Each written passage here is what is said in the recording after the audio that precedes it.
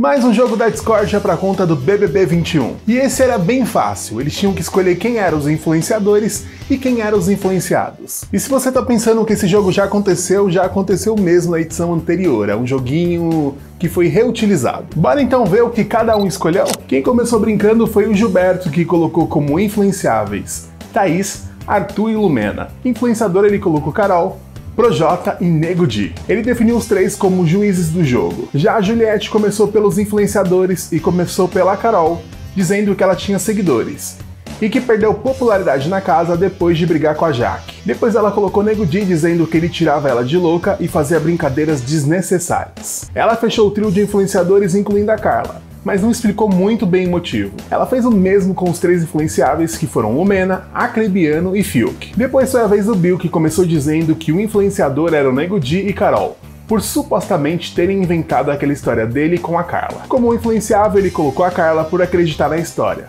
e Lumena por ter dado apoio a Carol. Mas teve mais gente que ele definiu como influenciável. Ele também disse que está em dúvida se Projota é influenciador ou não. Depois foi a vez da Carol que começou pelos influenciadores e concordou que ela era um influenciador, junto ao Nego Di e Projota. Ela também colocou Carla alegando que ela era uma espécie de Madre Teresa da casa, e ainda fez questão de ressaltar que a Carla tinha perdoado ela. A Sarah também ficou como um influenciador. Como influenciável, ela começou pelo Bill dizendo que ele era um covarde por não esclarecer aquela bagunça com a Carla. Ela incluiu o Gilberto que prontamente discordou, e ela mandou ele calar a boca porque era a vez dela. Arthur concordou que Nego Di, Carol e Projota são influenciadores e disse que era uma honra ser influenciado pelos três. Depois ele incluiu Gilberto dizendo que ele era o mais esperto. Como influenciável, ele começou pelo ex-amigo Bill e demonstrou estar insatisfeito com a Crebiano. Juliette fez companhia pro Bill, mas sem muitas explicações. Para finalizar, ele disse que também é influenciador e disse que a ideia de colocar o Gilberto no paredão veio dele, que já ficou provado que é mentira. Na vez da Sarah, ela começou dizendo que a Carol e Nego Di eram influenciadores. Ela disse que todo mundo que tem problemas com a Carol sempre vira o foco. Lembrou de outros participantes que já foram perseguidos por ela. Sarah também disse que não curtiu o jogo do nego, que influencia pro mal. Como influenciado, ela colocou Arthur e disse que ele foi influenciado na decisão de mandar o Gil pro paredão. Ela também disse que Pouca compra brigas que não é dela. E no meio termo, ela colocou Bill e Vi, dizendo que são jogadores que não se deixam influenciar. Na vez do Projota, ele disse que ser influenciador não é algo ruim, e que ele desde sempre foi influenciador, já que ele leva uma mensagem boa através da sua música. Sendo assim, ele manteve Nego Di e Carol como influenciadores. Ele destacou Sarah e Gil e disse não saber quem influencia quem. Ele disse que o Bill era infantil e acrescentou que teve que resolver os problemas do Bill enquanto a Crebiana estava dormindo. E ainda finalizou criticando ele por não conversar com a Carol e com a Carla sobre aquela história que a Jaque inventou da cabeça dela. Para fechar mesmo, ele disse que o Bill era leve trás e fechou jogando a fotinha do Bill no chão. A Carla colocou Carol como influenciadora por ter propagado a mentira dela com o Bill. Nego Di ficou como influenciador pelo mesmo motivo. Ela também colocou o Projota como influenciador do bem por tentar colocar panos quentes na história. E colocou ela mesmo como influenciável por ser trouxa nessa história do Bill, Carla e Carol. Depois foi a vez do Nego Di que começou dizendo que era influenciador dentro e fora da casa. Alguém, por favor, avisa ele. A Carol ele também também colocou como influenciadora, mesmo sendo explosiva, e disse ter acolhido a Carla por ter achado que a Carol era a errada da história. Como influenciável, o nego colocou Gil, Sara e Juliette por defender o Lucas em muitas ocasiões. Até que tentaram interromper o Nego Di, mas o Thiago não deixou dizendo que era a vez do nego jogar. Isso ficou meio estranho porque existiram interrupções anteriores e o Thiago não disse nada. Ele acrescentou o Bill como influenciável, dizendo que ele era um leve trás e que não teve atitude de homem por não defender a Carol. Depois do Nego Di, o Thiago chamou o intervalo e eu quero aproveitar aproveitar esse momento para te convidar a apoiar o canal na produção de novos vídeos, sendo membro a partir de R$ 2,99.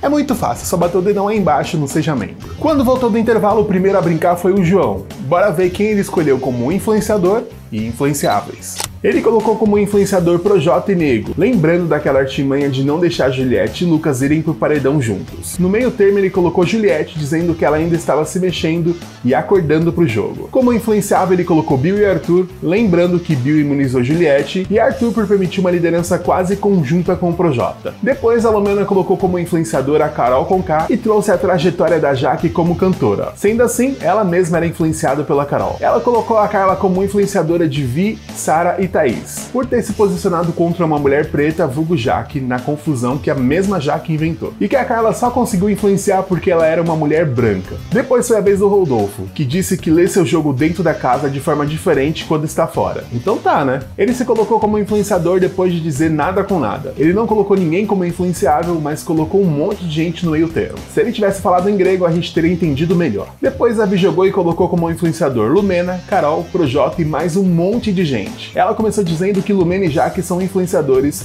mas que por muitas vezes militam pro lado errado. E como influenciável, ela colocou o Bill por não tomar uma postura naquele lance dele com a Carol e Carla. Já a Camila colocou o Bill pelo meio termo. Para ela, Projota e Nego são influenciadores por ditar regras. Arthur também ficou como influenciável por ter votado nela. Fiuk colocou Projota, Nego e Carol como influenciadores e disse que não era ruim influenciar. Ele colocou o Bill como influenciável por não ter apoiado a Carol naquele lance com a Carla. Depois foi a vez do Caio brincar e colocou um mar de gente como influenciador e disse que alguns influenciavam até ele, só que para o bem. Ele ainda disse que o Fiuk influencia a cozinha e não deixa ninguém mexer no seu cardápio. Quando eu disse cardápio, eu usei aspas, hein? No final, o Thiago disse que a conclusão do jogo do Caio era que ele tinha pipocado, e eu tive que concordar. Thaís colocou Nego, Jaque, Sara e Rodolfo como influenciadores. Ela colocou o Bill e ela mesma como influenciável por terem sido usados para colocar ela no paredão com o lance do Big Fone. Bill tentou interromper ela, mas ela se impôs. Por último, foi a Poca que colocou Nego, Jaque, Poca, vulgo ela mesma,